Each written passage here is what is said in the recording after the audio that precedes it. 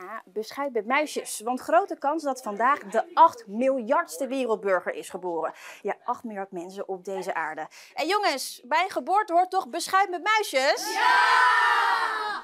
Is echt heel veel. Ik had echt niet verwacht. Ik ben wel verrast dat het er nu al zo snel zoveel zijn. Je ziet nu dat de wereld heel groot is.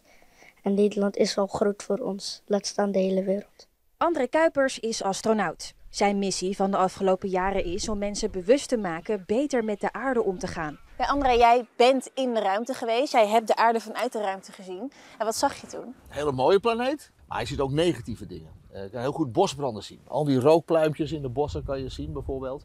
Uh, dingen als luchtvervuiling kan je zien. En s'nachts al die lichtjes van al die visserschepen. En dan besef je wel van, we, we zetten veel druk op de natuur. De aarde staat onder druk door al die mensen. Als er steeds meer mensen bijkomen, moet er volgens deze klas nog veel gebeuren. Meer voedsel, meer huizen, moeten bomen worden gehakt.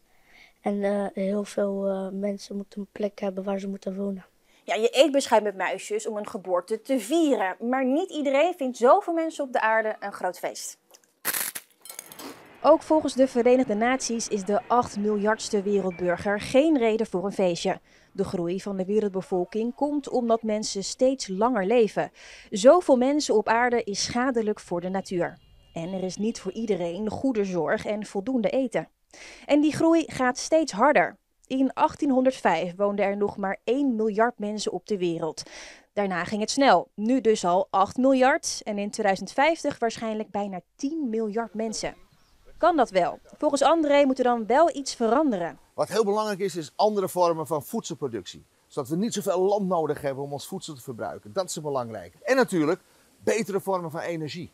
Windenergie, zonne-energie, dat soort zaken. Die zijn van groot belang. En dan kunnen we met die 8 miljard mensen goed op deze planeet leven. Volgens André is het wel goed dat we geboortes vieren. Want dat kan ook positief zijn. En dat vinden zij ook. Meer uh, vrienden.